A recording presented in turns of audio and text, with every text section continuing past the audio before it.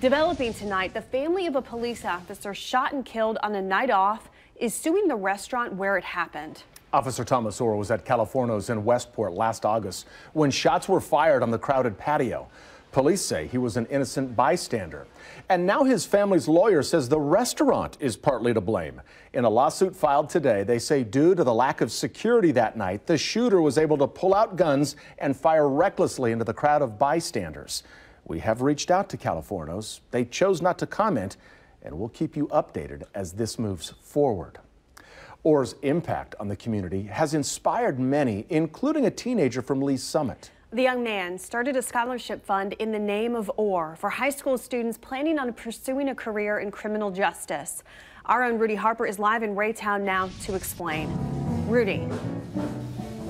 Well, and Brad, you can probably hear the music. A crowd of people inside this church tonight, just about to wrap up. That service just about to wrap up. Among them was a teenager who's also a youth minister, and he's practicing what he preaches. A night full of praise and worship with moving words of encouragement. We come to worship your Father. A lot of people ask, how do I do it? And I just say, it's just God. The only God can do it. Lorenzo Harrison, at just 17 years old, made a name for himself after giving away a pair of opening day tickets to a young boy battling cancer. Now, at the age of 19, he's starting a scholarship fund in the name of Thomas Orr. Orr was a Lee Summit police officer that was murdered while off duty in Westport last summer.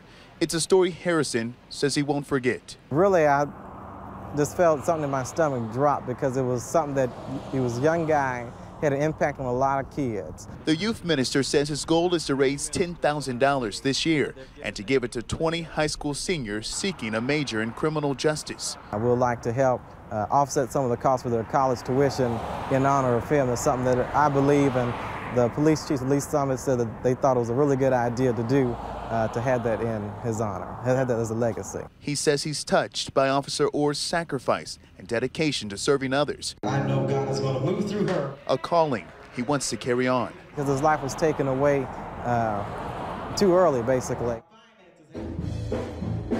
Yeah, and a portion of the offerings tonight will go towards that scholarship fund. Harrison, a busy college student himself, although he has many more plans to plant seeds in this community and random acts of kindness. Live in Raytown, Rudy Harper, KCTV 5 News.